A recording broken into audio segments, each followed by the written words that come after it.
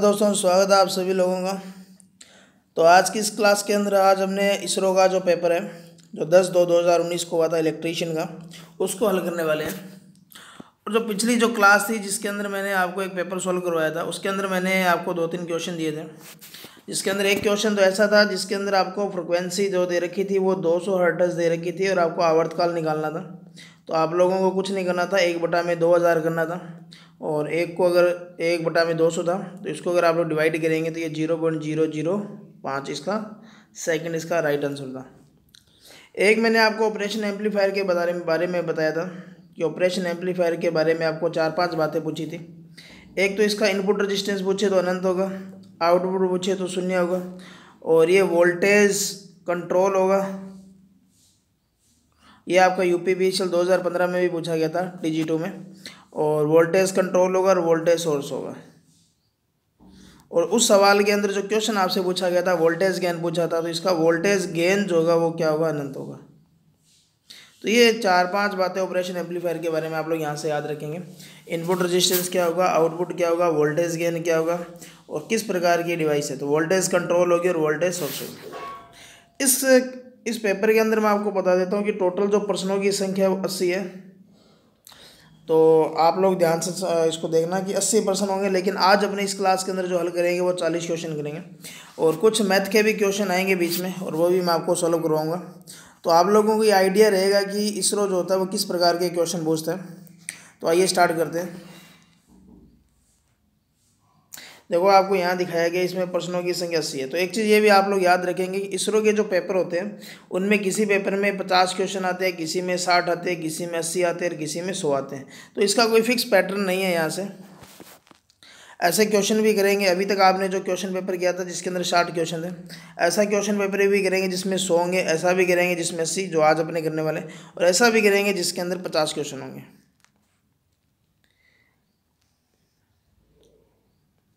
तो पहला आपको क्वेश्चन दिया गया है कि जो डिस्ट्रीब्यूशन ट्रांसफार्मर होता होता कौन सा है? स्टेप अप होगा या स्टेप डाउन होगा?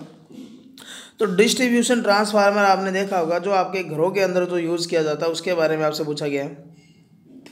घरों के बाहर जो खंभे जो होते हैं, घरों में नहीं बोल सकते। घरों के बाहर जो खंभे लगे होते हैं, जैसे आपने देखा होगा तो वहाँ जो उसके जो कनेक्शन होते हैं, वो स्टार टू डेल्टा में होंगे। और इधर अगर ये ग्यारह के वी की लाइन है तो इसको अगर अपने देखेंगे तो ये चार सौ पंद्रह ओब्लिक दो सौ यहाँ चार सौ चालीस आएगा। तो इसका मतलब ये होगा कि ये जो वोल्टेज को क्या करेगा डाउन करेगा, और इसकी रेंज भी अगर आप लोग देखें तो याद रखेंगे। और ये जो वितरण प्रणाली जो होगी, ये होगी तीन फ़ेज़ चार तार। तो वितरण प्रणाली के अंदर सेकेंडरी साइड से ही आप लोग यहाँ से वो बताएँगे।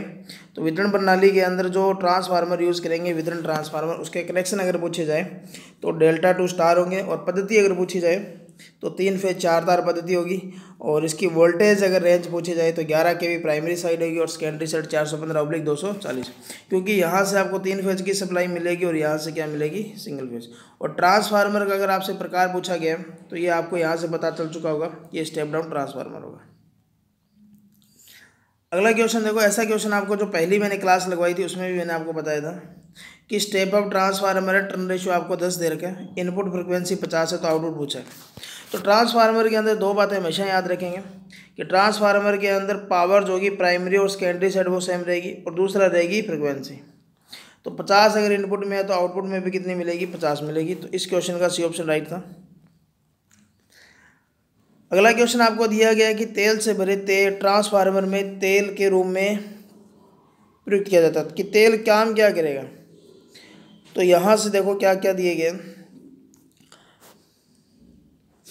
तो यहाँ आपको देखो तेल से भरे भरे ट्रांसफार्मर में तेल। तो पहला आपको दे रखा है कूलिंग एजेंट के रूप में यूज़ करेंगे इंसुलेटिंग एजेंट के रूप में करेंगे।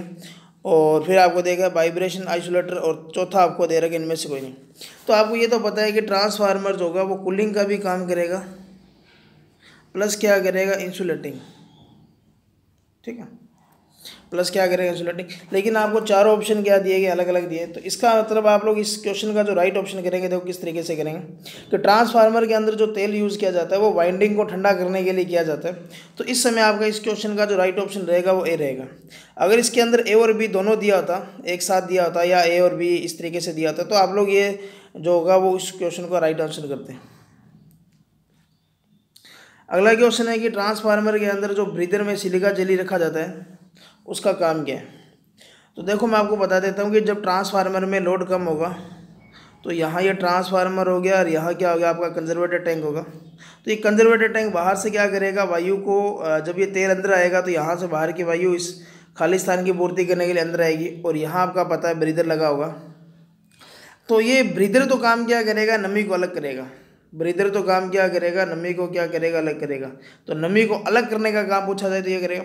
और इस नमी को सोखने के लिए यहाँ इसके अंदर क्या करेंगे, सिलिका जेली का यूज़ करेंगे। फिर याद रखेंगे, शुष्क अवस्था में सिलिका जेली का जो रंग होगा वो ब्लू होगा। और कई किताबों में आप लोग देखेंगे तो इसका गुलाबी दे रखे हैं। और लेकिन प्रैक्टिकल तौर पर अगर आप देखें तो ब्लू होगा। और नमी सोखने के बाद जो होगा ड्राई होने के बाद जो वेट होने के बाद में हल्का गुलाबी होगा या क्या हो जाएगा वाइट से कलर का हो जाएगा। फिक्की गुलाबी आपकी जो शर्ट होती है उसके जैसे हो जाती है। तो ये नमी सोखने का काम करेगी ए ऑप्शन इसका करेक्ट रहेगा। अगला वितरण ट्रांसफार्मर में टर्न रेशो सौ दे रखा है। प्राइमरी की करंट दे रखी है, सौ एम्पियर और सेकेंडरी की आपसे पूछेगी। तो टर्न रेशो करंट के अकॉर्डिंग निकालेंगे तो आई वन बटा में क्या होगा? आई टू होगा। के का मान आपको सौ दे रखे प्राइमरी करंट का मान आपको सौ दे रखा सेकेंडरी आपसे पूछा गया। तो आई टू को इधर लेकर के जाएँगे तो इस सौ से ये सौ डिवाइड हो जाएगा। तो इसका मतलब यहाँ से आपका जो एक एम्पियर होगा वो क्या आएगा? करेक्ट आंसर रहेगा तो एक एम्पियर इसका क्या रहेगा? राइट आंसर रहेगा। तो इस क्वेश्चन का बी ऑप्शन क्या रहेगा? करेक्ट रहेगा। तो ये पाँच क्वेश्चन ट्रांसफार्मर से आपसे पूछे गए थे। अगला क्वेश्चन है कि स्टार डेल्टा जब स्टार्टर जो होता है, उसमें मुख्य उपयोग क्या है? तो आप लोगों को ऐसा सवाल मैंने कल भी जो क्लास थी, उसमें भी पूछा गया था, जिसके अंदर आपको दो क्वेश्चन एक साथ दिए गए थे ऑप्शन में। दो ऑप्शन एक साथ दिए गए थे। जैसे आपको एक तो टोरक के बारे में पूछा गया था और दूसरा आपसे पूछा गया था, वो करंट के बारे में पूछा गया था। तो वहाँ मैंने आपको बताया था, ये दोनों चीज़ें क्या करेगा, कम करेगा। इसके अलावा ये स्टेटर साइड की वोल्टेज भी क्या करेगा, कम करेगा। तो यहाँ प्राइमरी धारा को कम करने के लिए इसका इस्तेमाल किया जाता है तो सी ऑप्शन इसका करेक्ट रहेगा। अगला क्वेश्चन है कि पोल पिच आपको दे रखी है, वो दस दे रखी है, और कि दस ध्रुव, यानी कि सॉरी दस पोल है इसके अंदर, और जो पोल पीस दे रखी है वो दो है, और स्लोट की संख्या आपसे पूछी गई तो पोल पीस दो तरीके से निकाली जाती है। एक तो आपकी स्लोट्स की संख्या निकाली जाती है, नीचे आएगा आपका पोल की संख्या। इसके अलावा यहाँ आपको चालक से भी दिया जा सकता है। चालकों की संख्या बटा में क्या आएगा? पोलों की संख्या। अब अपने को स्लोट से पूछा गया। तो आपको पता है कि ये स्लोट का निकालना है तो इन दोनों का आपस में क्या होगा? मल्टीप्लाई होगा। क्योंकि पोल पिच और पोल की संख्या को मल्टीप्लाई कर देंगे तो आपको क्या आ जाएगा? स्लोट की संख्या आ जाएगी। तो ये दस तो आपका आपको दे रखा है पोल और, और दो दे रखे आपकी पोल पिच तो दोनों को मल्टीप्लाई करेंगे तो कितना आएगा? बीस। तो इस क्वेश्चन का जो राइट आंसर रहेगा वो क्या रहेगा? बीस रहेगा। अगला क्वेश्चन देखिए कि चार पोल की जो मोटर इलेक्ट्रिकल डिग्री। तो आपको मैंने इलेक्ट्रिकल डिग्री के बारे में बहुत चीज़ें बताई थी, देखो थोड़ा सब देखते हैं। इलेक्ट्रिकल डिग्री जो होगी, उसका फार्मूला होगा एक सौ अस्सी इंटू पोलों की संख्या। इसके अलावा इलेक्ट्रिकल डिग्री का जो होगा वो होगा तीन सौ साठ इंटू पोल जोड़ों की संख्या। पोल जोड़ों की संख्या। ये इसको क्या लिख सकते हो? तीन सौ साठ इंटू पी बटा में दो। तो भी गिनेंगे तो एक सौ अस्सी इंटू क्या आएगा पी आएगा। इसके अलावा आप लोग देखो, इस क्वेश्चन का जो राइट ऑप्शन होगा कि चार पोल इलेक्ट्रिकल डिग्री पूछा है तो एक सौ अस्सी इंटू क्या आएगा, चार आएगा। इसका मतलब जब आर्मेचर एक बार घूमेगा तो उस समय आपका जो अंदर का जो ग्राफ बनेगा, ये एन वन के संपर्क में, ये एस वन के है, ये एन टू और ये एस टू। तो जब मशीन के अंदर आप लोग देखेंगे तो इस तरीके से आपके पास चार पोल होंगे। एक पोल से दूसरे पोल तक जब ये आर्मेचर जाएगा तो 180 डिग्री की इलेक्ट्रिकल दूरी तय करेगा। और फिर दूसरे से तीसरे पर जाएगा, फिर इस तरीके से। तो ये पूरा आपका दो एसी के साइकिल बनेंगे। तो ये आपसे भी पूछा जा सकता था कि चार पोल की अगर मशीन है तो उसके अंदर एसी के कितने साइकिल उत्पन्न होंगे एक चक्कर के दौरान। तो यहाँ इसका आंसर भी क्या था? दो था। इसके अलावा एक चीज़ और याद रखेंगे इलेक्ट्रिकल डिग्री जो होगी और मैकेनिकल डिग्री जो होगी, उसके अंदर ये डिफरेंस होगा। और होती क्या ये? तो आप लोग ये वाइंडिंग की या डीसी जनरेटर की वीडियो देखें जिसके अंदर मैंने इसके बारे में पूरा आपको बताया। तो इस क्वेश्चन का जो क्या रहेगा? एक सौ अस्सी इंटू चार करेंगे तो अठारह चौका बेहतर तो सात सौ बीस इसका करेक्ट आंसर होगा। अगला क्वेश्चन है कि जो घरों के अंदर सिंगल फ़ेज़ मोटर होती है वो किस प्रकार की होती है? तो ये तो आपको पता है कि घरों में सिंगल फ़ेज़ है तो आ, सिंगल फ़ेज़ इंडक्शन मोटर ही होगी। और फिर आप देख कि सिंगल फ़ेज़ इंडक्शन मोटर होगी, लेकिन इसके अंदर जो एक फ़ेज़ को दो फ़ेज़ में तोड़ने का जो काम करेगा, वो क्या करेगा? कैपेसिटर करेगा। दूसरी बात याद रखेंगे, इसके अंदर जो परमानेंट परमानेंट कैपेसिटर मोटर होती है, ठीक है? अब यहाँ से देखो, इस क्वेश्चन का जो राइट ऑप्शन आपका ए भी किया जा सकता था और बी भी। तो अब उसके ऊपर डिपेंड करता है कि आप लोगों का क्या राइट ऑप्शन माना जाए। वैसे अगर देखा जाए तो ये सिंगल फ़ेज़ मोटर होगी, लेकिन इस काम ये जो करेगी वो दो फ़ेज़ पर करेगी। तो हो सकता है कि इसका ऑप्शन बी भी माना जाए। तो ये जो होगा, आप लोग इसका ए ऑप्शन इसका करेक्ट करेंगे एक बार, और नेक्स्ट टाइम देखेंगे कि इसका ऑप्शन क्या किया गया था। विवाह, इसके अंदर इसरो ने क्या माना गया था। तो आपको नेक्स्ट क्लास के अंदर इसके बारे में मैं पूरा बताऊँगा कि इसका ए माना गया है या बी माना गया है। अगला क्वेश्चन है कि कम्यूटेटर जो होता है उसमें क्या किसमें प्रयुक्त होता है? तो देखो कम्यूटेटर जो होगा डीसी मोटर या डीसी आपका जो जनरेटर होगा, उसमें यूज़ किया जाता है। और ब्रशलेस डीसी मोटर में तो ब्रश भी नहीं होते तो कम्यूटेटर भी नहीं होगा। और यहाँ सिंगल फ़ेज़ के अंदर तो यूज़ ही नहीं होते। तीन फ़ेज़ के अंदर स्लिपरिंग यूज़ होती है तो डीसी मोटर इसका क्या रहेगा? करेक्ट रहेगा। अगला आपसे पूछा गया है कि इन्वर्टर का उपयोग क्या किया जाता है? तो इन्वर्टर जो होगा, ये आपको पता है कि डीसी को एसी में बदलने के लिए और यूज़ किया जाता है इन्वर्टर का। इस क्वेश्चन का ये ऑप्शन राइट होगा। और एसी टू अगर डीसी पूछा जाए तो ये रेक्टिफायर होगा और इन दोनों के लिए पूछा जाए तो ये ट्रांसफार्मर का यूज़ किया जाता है। इसके लिए तो रेक्टिफायर होगा, इसके लिए दोनों के लिए क्या यूज़ किया जाता है? अपना ट्रांसफार्मर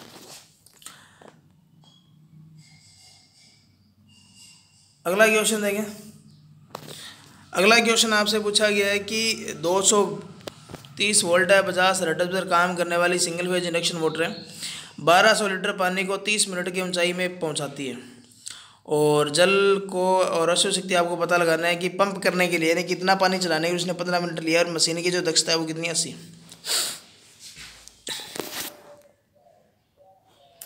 तो यहाँ हमने देखो किस तरीके से इसको काम करेगी। तो सबसे पहले अपने को इसकी पावर निकालनी पड़ेगी और पावर आपको पता है कार्य करने की दर कहलाती है। और कार्य के ध्यान रखना कार्य जो होगा एम जी एच होगा यहाँ से, बटा में आएगा टी तो एम का मान आप लोग क्या मानेंगे? जो इसका द्रव्यमान दे रखा है वो कितना है? बारह सौ। जी आप दस ले लेना, नौ पॉइंट आठ होता है वैसे। दस से कैलकुलेट कर लेंगे तो आंसर उसके पास में आ जाएगा। और हाइट आपको दे रखा तीस मीटर। फिर आपको दे रखा पंद्रह मिनट इस मिनट को आप लोग सेकंड में चेंज करेंगे तो पंद्रह इंटू क्या करेंगे? साठ करेंगे। तो अब आप लोग इसको देखो कैलकुलेट इसको करेंगे तो ये दो पर जाएगा, इसको करेंगे तो ये पाँच पर जाएगा, इसको हल करेंगे तो ये तीन पर, और इसको हल करेंगे तो चार सौ। तो इसकी जो पावर आ गई वो आपकी आ गई चार सौ वाट इसकी जो पावर होगी, वो क्या होगी? चार सौ वाट होगी। उसके बाद देखें इसके अंदर। अब आप लोग दक्षता का फार्मूला लगाएँ कि एफिशिएंसी का जो फार्मूला जो होगा, वो क्या होगा? आउटपुट बटा में क्या रहेगा? इनपुट रहेगा और इनटू में क्या करेंगे? सो एफिशिएंसी की जगह आपका आएगा अस्सी और आउटपुट जो दे रहा है, ये चार सौ वाट दे रहे हैं तो आप लोग इनपुट निकालेंगे यहाँ से। जब आप लोग इसका इनपुट निकालेंगे तो देखो इनपुट कितना आएगा। तो इनपुट निकालने के लिए आप लोग क्या करेंगे? चार सौ को ऊपर लेके जाएँगे और अस्सी को नीचे ले आएँगे और इनटू में क्या करेंगे? सो इसको करेंगे तो यहाँ यानी कि मोटर का जो इनपुट है, यानी कि उसकी जो एचपी जो है, वो कितनी है? वो कितना है? पाँच सौ वाट। अब इस 500 वाट को अगर आप लोग एचपी में चाहते हो तो आप लोग काम क्या करेंगे? इस एचपी को चाहने के लिए इसको एच में निकालने के लिए आप लोग क्या करेंगे? सात सौ छियालीस से क्या कर देंगे? डिवाइड कर देंगे। तो आप लोग इसका सात सौ छियालीस से डिवाइड करें तो सातों सातों उनचास, यानी कि सात से कम आएगा। तो ये ज़ीरो पॉइंट पैंसठ वाला आपका ऑप्शन राइट होगा। तो इसको आप लोग चेक कर लेना कि इसका ज़ीरो पॉइंट पैंसठ ही आएगा क्या? तो ये शायद इतना ही आएगा। कि पाँच सौ अगर आप लोग सात से डिवाइड करेंगे तो ये सातों सात उनचास और सात सौ छियालीस है तो इसका मतलब ये पॉइंट छः के समथिंग आएगा। तो सी ऑप्शन इसका करेक्ट रहेगा। अगला है थर्मोस्टेट तो थर्मोस्टेट आपको मैं बता देता हूँ कि जैसे आपका प्रेस हो गया या ओवन हो गया, जो टेम्परेचर के कारण आप लोग जो यूज़ करते हो, ठीक है ऑटोमेटिक जिसके अंदर टेम्परेचर को कंट्रोल किया जाता है, उसके अंदर थर्मोस्टेट का यूज़ किया जाता है। और ये बाई मेटेलिक स्ट्रिप होती है, यानी कि द्विधात्विक पत्ती होती है। इसके अलावा थर्मोस्टेट का इस्तेमाल आप लोग ट्यूबलाइट के स्टार्टर में भी देख सकते हो, इसके अंदर भी यूज़ किया जाता है। तो ये काम क्या करेगा, ये ताप को क्या करेगा, नियंत्रित करने का काम करेगा। तो यहाँ देखो, पहला ऑप्शन आपको दे रखा है वोल्टेज का पता लगाने और टेम्परेचर का नियंत्रण करने, ये नहीं होगा, दूसरा भी नहीं होगा। तीसरा है कि तापमान का पता लगाने और उसको नियंत्रित करने तो सी ऑप्शन इसका करेक्ट रहेगा। अगला ई e तो ई e का पूरा नाम याद रखेंगे, अर्थ लिखे सर्किट ब्रेकर और दूसरा ये काम क्या करती है, ये आपके लिए एक सेफ्टी डिवाइस होती है, जो इलेक्ट्रिकल शॉक से आपको बचाती है। और ऐसा क्वेश्चन जो था, मैंने कल वाला जो पेपर करवाया था, उसमें भी आपको देखने को मिला था। तो इस क्वेश्चन का ए ऑप्शन इसका क्या रहेगा करेक्ट रहेगा।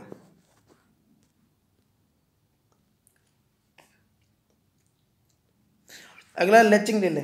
ये क्वेश्चन भी बहुत बार एग्जामों में देखने को मिले। तो रिले के अंदर लेचिंग रिले कैसी होती है कि जैसे पावर अगर ऑफ़ हो जाती है तो उसके बाद भी इसके जो कॉन्टैक्ट जो होते हैं, वो उसी पोजीशन पर रहते हैं। इसका मतलब आप लोग यहाँ से देखिए, इसका कौन सा ऑप्शन राइट होगा? तो यहाँ इसका सी ऑप्शन आपका क्या रहेगा? करेक्ट रहेगा। तो लैचिंग रिले कैसी रिले होती है? जो अपने काम क्या करती है पावर ऑफ़ होने के बाद भी पूर्व स्थिति में बनी रहती है, यानी कि उसके कॉन्टैक्ट जो होंगे, वहीं बने रहेंगे। ये आपके आई का सेमेस्टर प्रणाली में भी पूछा गया था और ये आपका इसरो में भी आ गया और इसके अलावा आप लोग लाइनमैन में भी देख लेना, मिल जाएगा आपको शायद। अगला है, ट्रांसफार्मर को किसमें रेट किया जाता है? तो यहाँ आप लोग ध्यान रखना है ट्रांसफार्मर को जो रेट किया जाता है वो के में होगा।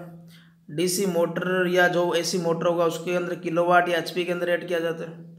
किलोवाट घंटा जो होता है, ये घरों में जो खपत विद्युत ऊर्जा जो होती है, उसको उसको रेट करेंगे। के वी आर के अंदर एल और सी यानी कि कुंडली और जो संधारित्र जो होता है, उसको रेट किया जाता है। तो इस क्वेश्चन का जो राइट ऑप्शन होगा ट्रांसफार्मर को के में रेट किया जाता है। तो ट्रांसफार्मर की रेटिंग इसमें होगी? के में होगी। अगला क्वेश्चन है कि जो भारत के अंदर जो तीन फ़ेज़ की आपूर्ति है, उसकी फ्रिक्वेंसी कितनी है? तो आपकी चाहे सिंगल फ़ेज़ हो, चाहे तीन फ़ेज़ हो फ्रिक्वेंसी आपकी कितनी रहेगी, वो हमेशा कितनी रहेगी? पचास ही रहेगी। तो ए ऑप्शन इसका करेक्ट था। अगला क्वेश्चन आपको दिया गया कि दस ओम और पाँच ओम का प्रतिरोध है, वो समांतर में जोड़ा गया है। और कुल धारा कितनी है? पंद्रह तो आपको पाँच एम्पियर वाले से धारा बतानी है। तो इसको आप लोग दो तीन तरीके से कर सकते हो। जैसे ये पाँच ओम का हो गया और ये दस ओम का यहाँ से जो करंट आ रही है, वो कितनी आ रही है? पंद्रह। तो अब आप लोग एक तो अनुपात वाले तरीके से बताता हूँ, जो मैथमेटिक तरीका है इसका। ये एक होगा तो ये कितना होगा? दो होगा। इसका मतलब धारा जो जाती है, वो प्रतिरोध के विपरीत जाती है। तो अगर इसका प्रतिरोध एक होगा तो इसमें करंट कितनी जाएगी? वो दो जाएगी। अगर इसका प्रतिरोध दो है तो इसके अंदर करंट कितनी जाएगी? एक जाएगी।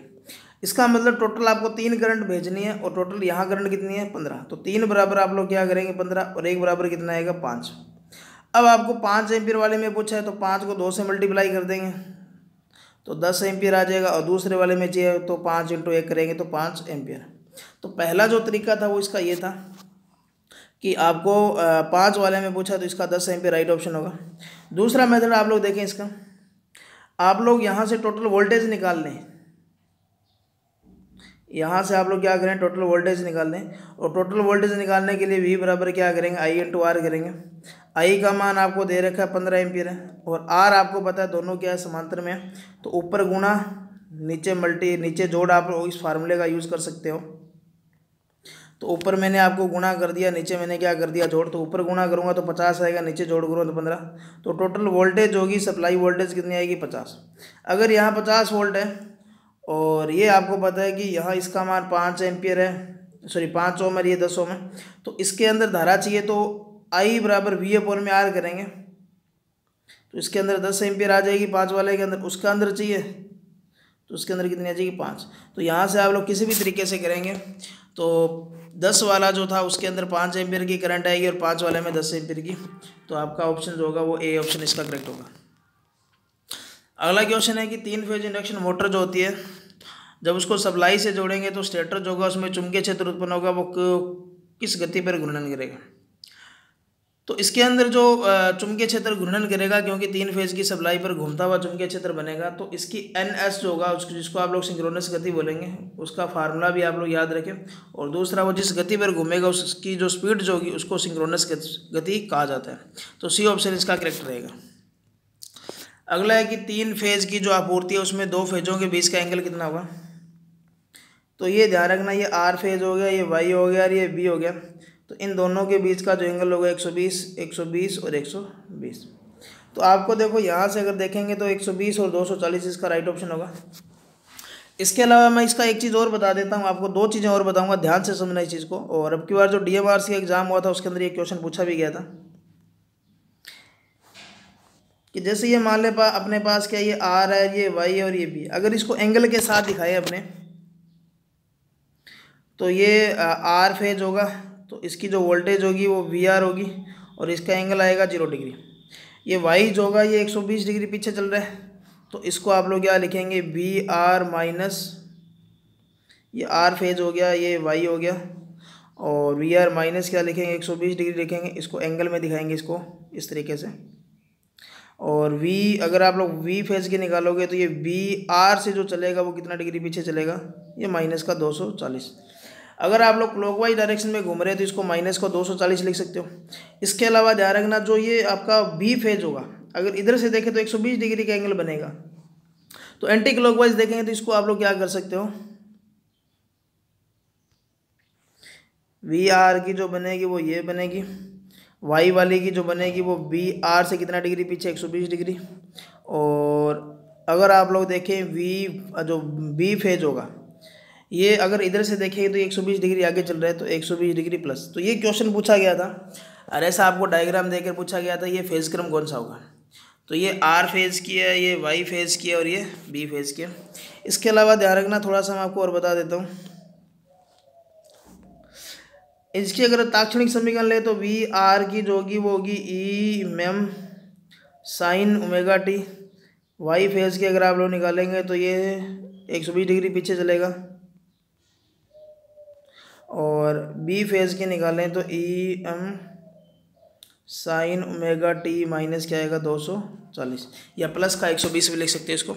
तो इस तरीके से तीनों की ताक्षणिक समीकरण बनेगी। और दाक्षिणी समीकरण मैंने एक वीडियो भी बनाई थी तो वो आप लोग देखें। थोड़ा सा आप लोग ढंग से अगर तैयारी करेंगे तो आप लोग कोई भी एग्ज़ाम जो होगा, उसको करेक्ट करेक्ट कर सकते हैं। तो इस क्वेश्चन के अंदर आपको दो से तीन बातें एक्स्ट्रा मिली है तो आप लोग थोड़ा सा इसको नोट भी करें। अगला क्वेश्चन देखें। कि ऐसी सप्लाई है और वोल्टेज स्रोत श्रृंखला के रूम में जुड़ा एक संधारित्र और एक प्रतिरोध है। यानी कि एक रजिस्टेंस है और एक संधारित्र दोनों सीरीज़ में जुड़े हैं। संधारित्र के आर पार वोल्टता, प्रतिरोध के आर पार वोल्टता की तुलना में थीटा डिग्री, कोण पिच चगामी है तो थीटा का मान कितना होगा तो इसका मान देखो किस तरीके से निकालेंगे। तो सबसे पहले इन दोनों के अंदर जो सेम रहेगी वो करंट रहेगी। ये करंट होगी। और इसके अंदर जो रेजिस्टेंस के अंदर जो वोल्टेज होगी, वो हमेशा क्या होगी? इनफेज होगी। संधारित्र के अंदर अगर अपने बात करें तो करंट जो होती है वो आगे होगी, इसका मतलब वोल्टेज होगी, वो क्या रहेगी? पीछे। तो आप लोग ऐसी थ्योरी अगर आप लोगों को पता है तो उसका फेजर डायग्राम जो बनेगा आर सी श्री सर्किट का, वो ऐसा ही बनता है।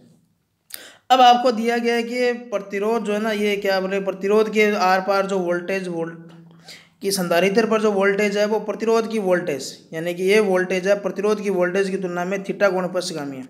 यानी कि ये वीसी जो है, ये थीटा गुण क्या है? पश्चगामी पीछे तो इसका जो ये मान होगा वो कितना आएगा? इस थीटा का मान क्या आएगा? तो थीटा का जो मान होगा, ये माइनस नब्बे डिग्री क्या चल रहा है? पीछे चल रहा है। तो इसका मतलब ये पीछे चल रहा है तो इसका मतलब इसका कितना आएगा? नब्बे डिग्री आएगा। और तो यहाँ से थीटा कोण पश्चगामी होगा तो उस थीटा का मान बताना सॉरी यहाँ नब्बे डिग्री आएगा पूरा। माइनस नहीं आएगा।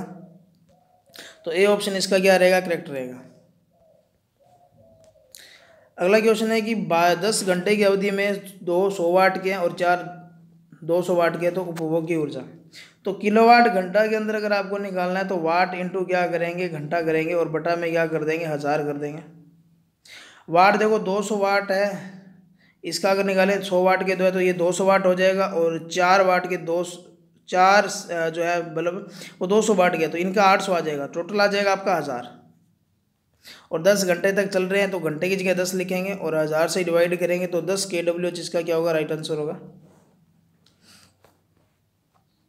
अगला है कि तीन जो सेल हैं, वो दो वोल्ट के हैं और इनके आर पार एक ओम का प्रतिरोध, एक किलो ओम का प्रतिरोध समांतर में जोड़ा गया है तो प्रतिरोध से बहने वाली धारा का मान क्या होगा?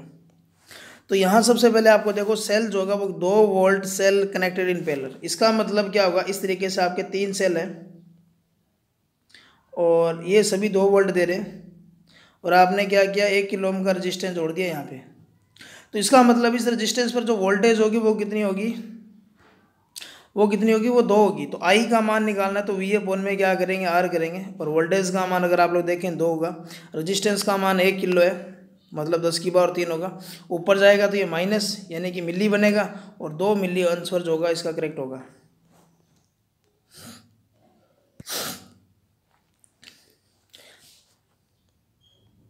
अगला क्वेश्चन है कि एक प्रतिरोध को किसी वोल्टेज स्रोत से जोड़ा गया। यदि वोल्टेज को दुगनी कर दी जाए तो उस प्रतिरोध में विस्तृत शक्ति का क्या होगा? तो पावर जो होगी किसी प्रतिरोध के अंदर, वो बीस केयर इंटू क्या बीस केयर बटा में क्या होगा? आर होगा। अगर आप लोग वोल्टेज को दुगना करते हो वोल्टेज को क्या करोगे, दुगना करोगे, दो का स्केयर कितना हो जाएगा? चार। तो इसका मतलब वो कितनी हो जाएगी? चार गुनी हो जाएगी। तो इस क्वेश्चन का जो राइट ऑप्शन रहेगा, वो क्या रहेगा? बी रहेगा। अगला क्वेश्चन काफ़ी अच्छा क्वेश्चन है कि लोड को वहन करने वाली तीन फ़ेज़ सप्लाई में शक्ति और शक्ति गुणांक दोनों का मापन करना है तो कम से कम वाट मीटर कितने चाहिए? तो ये क्वेश्चन पहले भी पूछा गया था आपके। पता नहीं कौन से एग्ज़ाम में याद नहीं है मुझे। तो आपको पावर भी चाहिए और पावर फैक्टर भी चाहिए। तो आपने ये फार्मूला पढ़ा होगा इस तरीके से। तो ये जो फार्मूला जो होता है, ये दो वाट मीटर विधि के अंदर यूज़ किया जाता है। इसका मतलब आपको कम से कम जो वाट मीटर चाहिए वो कितने चाहिए? दो। और दो वाट मीटर एक ऐसी विधि है जिसके अंदर आप लोग संतुलित लोड असंतुलित लोड स्टार डेल्टा दोनों में यूज़ कर सकते हो। ध्यान से सुनना स्टार डेल्टा ये B S N L G N में भी पूछा गया था एस एस सी जेई में भी पूछा गया था, आपके लाइनमैन में भी पूछा गया था और आई टी आई की जो सेमेस्टर प्रणाली थी, उसमें भी ये क्वेश्चन पूछा गया था कि कौन सी जो दो वाट मीटर विधि है, उसका इस्तेमाल किस के अंदर करेंगे? तो स्टार डेल्टा दोनों में कर सकते हो। एक और जो तीन वाट मीटर विधि इसका इस्तेमाल केवल आप लोग स्टार में कर सकते हो। और इसका मैंने कारण आपको जो वीडियो है, उसमें देखें उसमें मैंने आपको पूरा बताया। तो इस क्वेश्चन के अंदर आप लोग यहाँ से देखें पावर और पावर फैक्टर दोनों का मापन करना है तो आपको कम से कम दो वाट मीटर की आवश्यकता होगी। तो इस क्वेश्चन का जो राइट ऑप्शन रहेगा, वो दो रहेगा। अगला क्वेश्चन आपको दिया गया कि कार जो है वो साढ़े चार घंटे के अंदर एक सौ अठानवे किलोमीटर चलती है तो कार की गति क्या होगी? तो कुछ नहीं करना, किलोमीटर प्रति घंटा चाहिए तो किलोमीटर एक सौ अठानवे और चार पॉइंट पाँच से डिवाइड कर देंगे। तो आप लोग इसका मेरे को कलेक्ट ट्रांसफ़र बताएँगे कि क्या रहेगा। तो इसका ये पैंतालीस या छियालीस के या चौवालीस पैंतालीस के लमसम आएगा तो आप लोग चेक कर लेना। तो इस क्वेश्चन का आप लोग मुझे राइट आंसर जो होगा कमेंट बॉक्स में कमेंट करेंगे। अगला क्वेश्चन देखें। और श्रृंखला टाइप ओमीटर है। पूर्ण मान धारा विक्षेप की स्थिति और शून्य धारा की स्थिति में सूचित करेगी। देखो, पूर्ण विक्षेप। इसके अंदर यहाँ अनंत लिखा होगा और यहाँ ज़ीरो लिखा होगा। जब पूर्ण विक्षेप होगा तो ये यहाँ आएगा। जब धारा तथा शून्य धारा की स्थिति धारा जब शून्य होगी तो कहाँ रुकेगा? अनंत पर। तो पहला पूर्ण मान का बताना है तो ज़ीरो आएगा और बाद में आपको बताना है शून्य धारा। तो शून्य जब धारा होगी तो यहाँ गया, कहाँ आएगा? अनंत क्यों रहेगा तो ए ऑप्शन इसका क्या रहेगा? करेक्ट रहेगा। यानी कि इस तरीके से होगा? यहाँ अनंत लिखा होगा और यहाँ ज़ीरो लिखा होगा। तो ये सीरीज़ टाइप ओमीटर है और अगर आप लोग शंट देखेंगे तो यहाँ ज़ीरो होगा और यहाँ क्या होगा? अनंत लिखा होगा। और ये शंट वाला आपका नोएडा मेट्रो के अंदर 2017 में पूछा भी गया था। इसके अलावा जो ओ, आपका जो मेगरमीटर होता है, उसकी जो संरचना अगर पूछी जाए तो वो सीरीज़ टाइप ओमीटर के समान होती है। पैमाना जो होगा। अगला क्वेश्चन है कि 200 वोल्ट का एक 200 सॉरी 20 ओम का प्रतिरोध है। हज़ार माइक्रोफेरड है। एक स्विच द्वारा पाँच वोल्ट की डीसी सप्लाई से श्रृंखला में जोड़ा गया स्विच को बंद करने की स्थिति में धारा क्या होगी? तो देखो, इस तरीके से ये। अब आप लोग ये मैं सोच लेना कि संधारित्र अगर जुड़ा है तो वो जो डीसी ओपन सर्किट की तरह करेगा। लेकिन जब स्विच ऑन या ऑफ़ होता, उस समय जो कैपेसिटर होगा, ये काम करेगा। तो यहाँ देखें आप लोग। कि इस समय जब स्विच को बंद करेंगे तो इसका अवरोध क्या होगा? ये शॉर्ट सर्किट की तरह काम करेगा तो इसका मतलब इसका अवरोध जो होगा इस समय क्या होगा? आर का मान क्या होगा? ज़ीरो या एक्स सी का जो मान क्या होगा, वो ज़ीरो होगा। इसका मतलब आपका ये सर्किट क्या है? शॉर्ट है। इसका मतलब आप लोग ये सोचें कि एक पाँच वोल्ट का स्रोत है जो बीस ओम के प्रतिरोध से जुड़ा है। तो आई का मान निकालना है तो आई बराबर जो होगा वो वी एपोन में आर होगा। वोल्टेज का मान अगर आप लोग यहाँ देखें तो पाँच है और रजिस्टेंस का मान बीस है तो एक बटा में चार करेंगे तो पॉइंट पच्चीस इसका आपको मिलेगा, वो करेक्ट आंसर मिलेगा। अगला क्वेश्चन है कि 200 volt turn sorry 200 turn primary में सेकेंडरी में 50 है, और प्राइमरी की वोल्टेज 240 है तो सेकेंडरी की वोल्टेज आपको निकालनी है। तो आप लोग यहाँ से क्या करेंगे, ये एन टू बटा में एन वन और ई टू बटा में ई वन का फार्मूला यूज़ करेंगे। एन टू का मान आपको दिया गया है पचास और एन वन का मान दो सौ। प्राइमरी की वोल्टेज जो दे रखी है वो दो सौ चालीस है और आपको सेकेंडरी की निकालनी है। तो ए टू का मान निकालना चाहे तो इसको अगर डिवाइड करें तो ये चार पर जाएगा और ये दो सौ चालीस आएगा और इसको अपने काटेंगे तो ये साठ आएगा। तो इसका जो ऑप्शन होगा वो करेक्ट आंसर होगा, वो साठ वोल्ट होगा। अगला दिया गया है कि दो ओम का प्रतिरोध है और एक ओम का श्रृंखला में जोड़ा गया है। दो वोल्ट सॉरी छः वोल्ट का एक सेल है और दो ओम का जो प्रतिरोध है, कितनी पावर खपत करेगा? तो पावर निकालने के लिए पी बराबर आप लोग आई स्केर आर से कर सकते हो। इस तरीके से ये एक ओम का मान लेते हैं, ये दो ओम का मान लेते हैं और इनको जो सप्लाई दी गई है वो छः वोल्ट तो करंट का मान अगर आप लोग निकालेंगे तो वी बटा में आर करेंगे तो छः बटा में तीन करेंगे तो धारा का जो मान आएगा वो दो एम रहेगा। और आई का दो का स्केयर करेंगे तो चार आ जाएगा। और दो ओम पर रजिस्टेंस वाला जो प्रतिरोध है, उस पर पावर खपत चाहिए। तो दो से मल्टीप्लाई कर देंगे तो चार दूनी आठ वाट। तो इस क्वेश्चन का जो राइट आंसर होगा, वो आठ वाट होगा। अगला क्वेश्चन है कि जब दो समान प्रतिरोधों को श्रृंखला में जोड़ा जाता है तो प्रभावी प्रतिरोध आर वन आएगा। श्री और समांतर में जोड़ा जाएगा तो आर टू तो आर वन और आर टू का अनुपात चाहिए। तो देखो, इसका मैं एक सिंपल मेथड बताता हूँ, कभी भी आपको चाहिए। तो आर सीरीज़ जो का बराबर एन स्केयर इंटू क्या कर सकते हो? आर समांतर। या आप लोग दो प्रतिरोध मान के, किसी भी वैल्यू के मान के कर सकते हो। तो अब आप लोगों को ये जो मेथड बता रहा हूँ, ये जब आप लोग उसका अंदर यूज़ करेंगे कैप्सीटर के अंदर तो ये उल्टा हो जाएगा। यहाँ समांतर आ जाएगा और यहाँ सीरीज़ आ जाएगा। अब आर श्रेणी है आपको आर समांतर है। तो आर वन जो था, वो श्रेणी के अंदर था आर टू गया था समांतर में। तो इसका मतलब आर श्रेणी बट्टा में आर पैलर करेंगे तो बराबर क्या आएगा? अंश स्केयर बट्टा में एक। तो यहाँ जो मैंने एन आपको बताया, ये प्रतिरोधों की संख्या है। तो दो का स्केयर करेंगे तो चार चार बटा में करेंगे तो चार। तो डी ऑप्शन इसका क्या रहेगा? करेक्ट रहेगा। तो ध्यान से देखें इसको। सीरीज़ के अंदर जो होगा वो एन फार्मूला याद रखें। आर सीरीज़ बराबर एन स्केयर इंटू क्या रहेगा? आर समांतर। और एन स्केयर गुणा में होगा क्योंकि सीरीज़ के अंदर रेजिस्टेंस होगा, वो क्या होगा? ज़्यादा होगा। तो आर एस ऊपर आ जाएगा आर पी नीचे आ जाएगा एन स्केयर बटा में एक और एन का मान अगर आप लोग देखें तो यहाँ वो संख्या होगी। तो चार, दो का स्केयर करें, चार चार बटा एक बराबर चार। अगला आपको दे रखा है कि एल सर्किट है। उसमें दोलन की फ्रिक्वेंसी आपसे पूछी गई है। तो ये तो बहुत ही सिंपल है। एक बटा में two pi root L C होगा तो ए ऑप्शन इसका करेक्ट रहेगा। अगला क्वेश्चन है कि रेजिस्टेंस आपको दिया गया बाएँ से दाएँ, यानी कि आपके लेफ़्ट टू राइट जो होगा वो दे रखा है, पहला रंग है पीला। तो बीबी रोय से अगर आप लोग देखें तो ज़ीरो, एक, दो, तीन और चार। पीला जो आएगा वो चार पर आएगा तो आपको कुछ आगे करने की ज़रूरत नहीं है तो इसका आंसर डी ऑप्शन जो होगा वही आएगा, क्योंकि चार वाला जो ऑप्शन है वो एक में ही है। अगला क्वेश्चन आपको दिया गया है कि पाँच ओम का प्रतिरोध शॉर्ट हो गया है तो ए और बी के बीच का प्रभावी प्रतिरोध क्या होगा अगर ये प्रतिरोध शॉर्ट हो जाता है तो आप लोग पता है कि जब यहाँ से करंट जो आएगी तो वो करंट जो होगी वो इस एक ओम वाले रेजिस्टेंस में नहीं जाएगी। क्योंकि शॉर्ट होने के बाद में इस रेजिस्टेंस का कोई मतलब नहीं है। तो इसका मतलब ये पूरा सर्किट इस तरीके से बनेगा आपका, और ये शॉर्ट हो चुका है, इसका मतलब इसकी वैल्यू नहीं मिलेगी आपको। तो इसका मतलब एक ओम इसका क्या रहेगा? करेक्ट आंसर रहेगा। अगला क्वेश्चन है कि जब आप लोग देखें कि अनुप्रयुक्त ऐसी वोल्टता आवृत्ति बढ़ाने पर प्रतिघात कैसे बढ़ेगा? तो एक्स सी एक्सएल का मान जो आपको पता है formula two pi F L होगा। और आपको पूछा है कि प्रेरक प्रतिघात होगा वो आवृत्ति के बढ़ने पर कैसे बढ़ेगा? तो एक्सएल समानुपाती क्या होगा? एफ़ होगा। इसका मतलब फ्रिक्वेंसी अगर जैसे जैसे बढ़ाएँगे तो एक्सएल इस तरीके से बढ़ेगा। तो रैखिक रूप से क्या होगा? बढ़ेगा। ए ऑप्शन इसका करेक्ट रहेगा। अगला क्वेश्चन है जो हाई वोल्टेज की जो केबलें जो होती है, उसके अंदर जो इंसुलेटिंग मटेरियल जो होता है, वो किस तरीके का यूज़ किया जाता है? तो टेफलॉन का यूज़ करेंगे रबड़ का यूज़ करेंगे इंपरग्रेटेड पेपर का यूज़ करेंगे या पीवीसी का यूज़ करेंगे। तो ये क्वेश्चन आप लोग मुझे कमेंट बॉक्स में कमेंट करेंगे कि इसका राइट आंसर क्या होगा। और अगली जो क्लास रहेगी, इसके अंदर मैं आपको इसका राइट ऑप्शन बताऊँगा। ठीक है? अगला क्वेश्चन देखते हैं, सैंतीस नंबर। जो मैं आपको क्वेश्चन देता हूँ, वो आप लोग ज़रूर इनके अंदर करके बताएँ मुझे।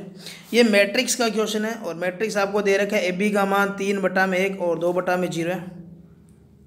तो मैट्रिक्स कैसे हल की जाती है? ये दो इसके साथ में मल्टीप्लाई होगा तो दो एक्स तीन वाई के साथ मल्टीप्लाई होगा तो तीन वाई फिर एक एक्स के साथ मल्टीप्लाई होगा तो एक्स और दो वाई के साथ मल्टीप्लाई होगा तो दो वाई फिर ती, दो जो होगा वो ये चार के साथ मल्टीप्लाई होगा तो चार दूनी आठ और तीन दो के साथ होगा तो माइनस का छः फिर एक जो होगा वो चार के साथ होगा और दो जो होगा फिर माइनस दो के साथ होगा तो ये चार। इसका मतलब इस मैट्रिक्स को अगर आप लोग देखें तो जो आपकी मैट्रिक्स बनेगी, वो दो एक्स प्लस तीन वाई और एक्स प्लस दो वाई, यहाँ आएगा दो और यहाँ आएगा ज़ीरो। अब आप लोग इस मैट्रिक्स की तुलना, ये जो क्वेश्चन के अंदर जो मैट्रिक्स दे रखी इसकी तो साथ तुलना करेंगे। इसका मतलब दो एक्स प्लस तीन वाई की जगह रखेंगे तीन, दो की जगह दो आया हुआ है, ज़ीरो की जगह ज़ीरो आया हुआ है अगर यहाँ दो नहीं आता, इसका मतलब आपने गलत काम किया या ज़ीरो नहीं आता तो गलत काम किया यानी कि गलत आपने इसका कैलकुलेशन किया। और एक्स प्लस दो वाई की जगह आप लोग क्या रखेंगे एक रखेंगे।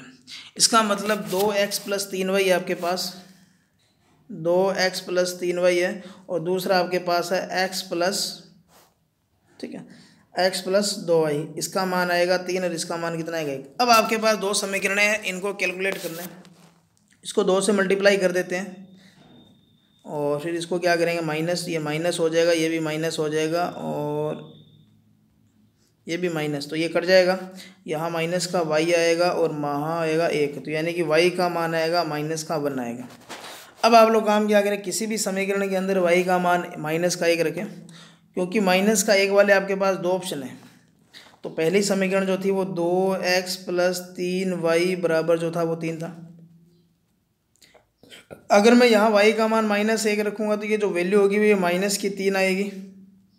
और ये तीन उधर जाएगा तो प्लस का क्या हो जाएगा? छः और दो एक्स बराबर छः होगा तो एक्स का मान कितना आएगा? तीन। तो इसका मतलब ये तीन और माइनस एक, इसका क्या रहेगा? करेक्ट आंसर रहेगा।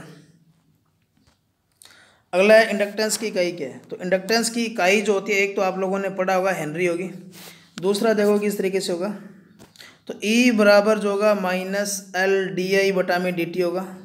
और यहाँ माइनस का जो चिन्ह है, ये उसको लेंस के नियम को प्रदर्शित करता है। तो अब आपको एल का मान चाहिए। तो ई इंटू क्या करेंगे? डी टी बटा में क्या करेंगे? जो आई वाला भाग है, इसको भाग में ले आएँगे। ई e का मान क्या होगा? वोल्ट होगा। समय का जो होगा, वो सेकंड होगा। और जो करंट की अगर अपने बात करें तो इसका क्या होगा? एम्पियर होगा। तो अब आप लोग चार ऑप्शन में देखें, कौन सा राइट आंसर होगा। पहला नहीं होगा और दूसरा इसका दो बी ऑप्शन इसका क्या रहेगा? करेक्ट रहेगा। अगला क्वेश्चन है कि जब एक ऑपरेशन एम्पलीफायर उसमें स्टेप इनपुट दिया जाता है तो आउटपुट क्या होगा? तो ऑपरेशन एम्पलीफायर के बारे में मैंने आपको तीन से चार बातें जो मैंने बताई थी, और कल वाले क्वेश्चन में भी ऑपरेशन एम्पलीफायर का आंसर आया था क्वेश्चन पूछा गया था। तो यहाँ इसका जो आउटपुट होगा, वो रैम्प टाइप होगा। अब ये रैम्प टाइप क्या होगा, ये आप लोगों ने शायद नहीं पढ़ा होगा। तो ये आप लोगों को जो होगा, ये कंट्रोल सिस्टम जो होता है, उसके अंदर ही आता है। तो आप लोगों ने शायद नहीं पढ़ा होगा तो इसलिए आप लोगों को नहीं पता। तो आप लोग बस याद रखें इसका रैम्प टाइप इसका आउटपुट होगा। अगला आपको दे रखा है कि सिक्र मान है 220 वोल्ट और आरएमएस मान आपसे पूछा गया तो आरएमएस मान जो होगा, आपको पता है कि वी एम बटा में क्या होगा? रूट टू होगा या ज़ीरो पॉइंट सात ज़ीरो सात इंटू क्या होगा? वी एम होगा। तो सात ज़ीरो सात से तो अगर आप लोग कैलकुलेट करेंगे तो ये सात ज़ीरो सात इंटू वी एम दो सौ करेंगे, दो सौ बीस करेंगे। तो इसका मान तो एक सौ इकतालीस पॉइंट समथिंग एक सौ इकतालीस से भी ज़्यादा आएगा। इसका मतलब ये ऑप्शन नहीं होगा। दूसरा देखें। वी एम बटा में रूट टू कर देंगे तो ये दो सौ बीस इंटू भाग में क्या आएगी? दो रूट टू अगर मैं इस रूट टू को ऊपर नीचे गुणा कर देता हूँ तो कोई फ़र्क नहीं पड़ेगा। और ये रूट टू रूट टू क्या करेंगे? दो बनेगा। और ये दो जो होगा, अगर मैं इसको काटूँगा तो एक सौ दस रूट क्या आएगा? दो। तो इस क्वेश्चन का बी ऑप्शन अगर आप लोग देखें तो इसका करेक्ट होगा। और ये मैंने आपको जो ऐसी थ्योरी थी, उसके अंदर मैंने आपको बताया भी था, जिस दिन मैंने आपको समीकरणों पर क्वेश्चन करवाए थे। मैंने आपको बताया था तीन तरीके से इसके ऑप्शन मिल सकते हैं। तो ये आज की जो क्लास थी, जिसके अंदर मैंने आपको चालीस क्वेश्चन करवाए हैं। वीडियो कैसी लगी? वीडियो के बारे में ज़रूर कमेंट करेंगे। वीडियो को लाइक करेंगे शेयर करेंगे। इसके अलावा जो दो मैंने दो वीडियो और डाली, वो भी आप लोग देखेंगे। इकतालीस से आगे वाले जो क्वेश्चन होंगे, वो अपने करेंगे नेक्स्ट टाइम यानी कि कल की क्लास में करेंगे। तो मिलते हैं, धन्यवाद, जय हिंद, जय भारत।